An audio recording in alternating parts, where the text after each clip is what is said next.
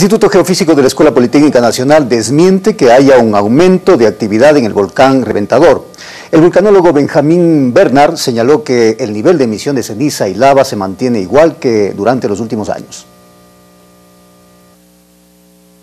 Ante la ola de rumores que se ha registrado en los últimos días en redes sociales respecto a una erupción del volcán Reventador, el Instituto Geofísico de la Escuela Politécnica Nacional aclaró que la actividad del coloso no ha registrado un incremento. Está en actividad alta, pero no es uh, nada novedoso. Desde años está con esa actividad alta, con muchas explosiones, decenas de explosiones por día. Respecto a este video que fue difundido en varias plataformas digitales, se especifica que corresponde al año 2014. También pasó información, se recirculó información de, de algunos diarios de la erupción de 2002, entonces hay que tener cuidado cuando se ven publicaciones en las redes sociales, ver a qué fecha corresponden los eventos. Al momento el reventador presenta leves emisiones de ceniza y explosiones esporádicas. Considerando su ubicación geográfica entre las provincias de Napo y Sucumbíos, no afecta a las poblaciones más cercanas. No hay muchas comunidades cerca del volcán y se ubican principalmente al sur,